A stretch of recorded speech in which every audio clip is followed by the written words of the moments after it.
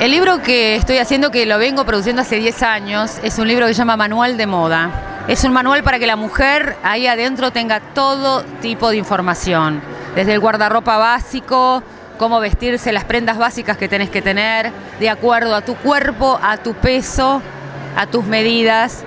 Después hay otro capítulo que es el capítulo del color, que es tanto para profesionales como para cualquier mujer que le interese el color, cómo combinar la tabla de colores. Tengo un tema de maquillaje hecho todo según rubias, morenas, castañas, pelear todas, cómo maquillarse.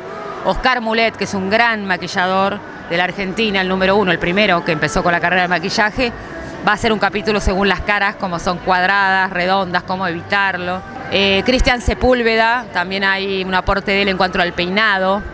El doctor Cormenchot nos, nos habla de cómo mantenerse saludable y para las que tienen sobrepeso, cómo cuidarse con pequeños trucos.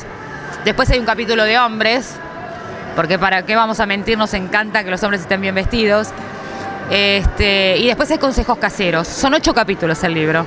Un libro que se fue haciendo de a poco durante 10 años de mi carrera y que ahora, viste, como la frutillita de la torta lo voy a editar. Mm, aportan mucho que vengan los escritores a hablar y conversar con la gente porque una cosa es leer un libro, un libro lo hace uno en la soledad, en lo que cree uno que necesita el otro, ¿no? Así sea una novela, un libro de información, un documento.